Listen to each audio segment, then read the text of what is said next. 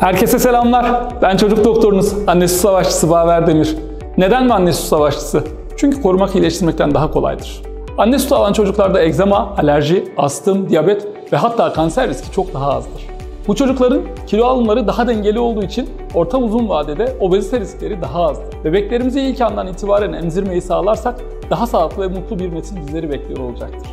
Bu nedenle gebelikte başlayan bilinçlendirme eğitimlerimizi doğum sonrası dönemde emzirme eğitimlerimizle pekiştiriyoruz. Yakın aralıklarla yapılan bebek takiplerimizde annelerimizin motivasyonunu hep yüksek tutup bebeklerimizin kilo alımlarının üst düzeyde olduğunu gözlemleyip annelerimize bebeklerin formüleye gerçekten ihtiyaç duymadığını gösteriyoruz. Sloganımız belli. İnadına, inadına anne sütü. Sağlıklı günlerde görüşmek dileğiyle.